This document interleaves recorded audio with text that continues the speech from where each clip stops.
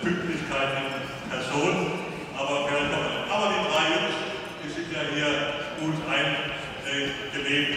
Die werden jetzt schon schauen. Wir begrüßen Helmut Hübel vom EC Auertal.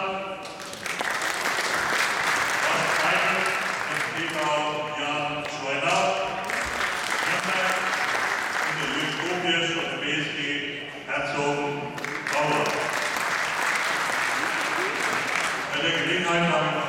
Bezirksvorsitzenden Dauergast bei uns begrüßen, Hans Fischer vom TSV Moin. Herzlich willkommen. So, und dann beim letzten Heimspiel vielleicht mit einem besonders kräftigen Beifall begrüßt nach großartiger Leistung, wenn auch Niederlage am letzten Wochenende in Grün-Wennersbach, der TV Ilberstein.